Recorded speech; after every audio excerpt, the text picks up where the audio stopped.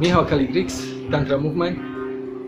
So today I will speak about veganism, uh, why we choose uh, to eat vegan at uh, our uh, retreats, uh, why we request uh, the participants to eat vegan, and why our community, the house where we live, also is vegan. It's all about sharing love, and we see the love on a deeper level than just me, myself, and eventually for the partner. We see it more in the global dimensions as well. We do it everything out of love, and the vegan choice of diet it's of the most healthy for yourself. Most of the retreats uh, respectable are connected with a detox program, and vegan diet is a very healthy one also what is detoxifying us from many things. It supports your process, your process of growth, emotional releases and so on are uh, less uh, so it's easier to go through it. It makes you stronger.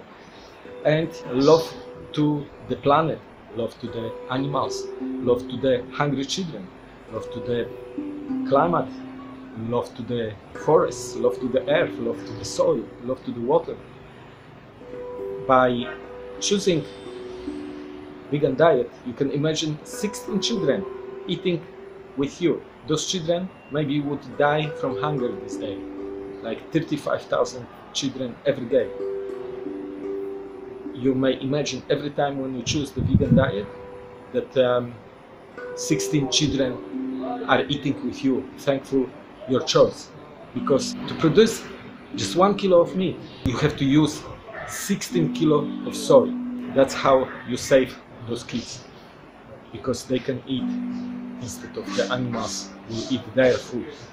Most of the soy are coming from South America, from the countries where children are starving. The biggest impact on the climate change, biggest producer of the greenhouse gases it's not the cars transport. All the transport together. Planes cars everything will not be bigger than producing the gashouse emissions by the animals farting to the atmosphere. Um, air pollution deforestation. There is no bigger reason for the deforestation than creating the fields for soy productions as well. So no saving the paper, but choosing the vegan diet have bigger impact. The same with the pollution of the water, the same with the pollution of the air. The oceans are getting empty. Vegan diet is not only a choice for um, the animals, of course, for the animals. Yes, imagine the pure mother have to give up the child for to produce the milk and meat.